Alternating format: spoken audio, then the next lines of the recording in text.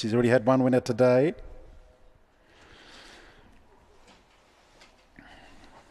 Just about all set.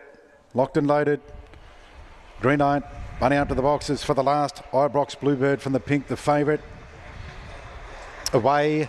Jumped okay, Ibrox Bluebird. It wasn't best served. Coming out okay, Silver Tiara and Lone Trader and coming over Stonewash from the outside.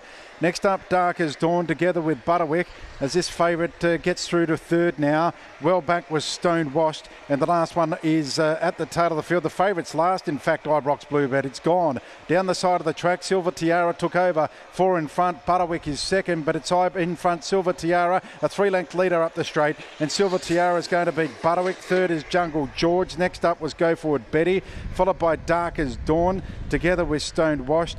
Next up was Lone Trader, and in plenty of bother was Ibrox Bluebird at the first turn, was never in it.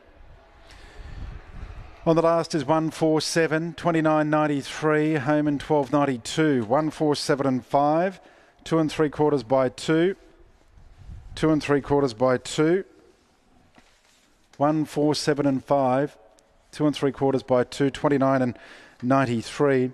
Silver Tiara salutes for Frank Sini, Fancy Dino, Paul Tiara.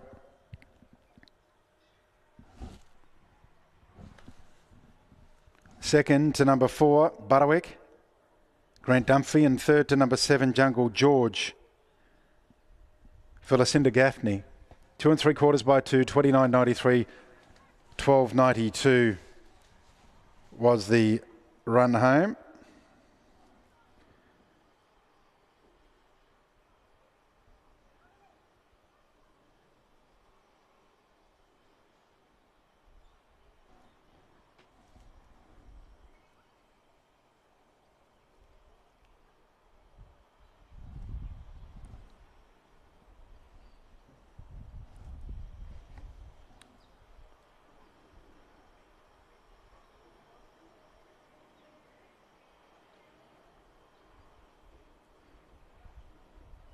And on the last one, Silver Tiara, $59.60 and $5 the win at any old odds.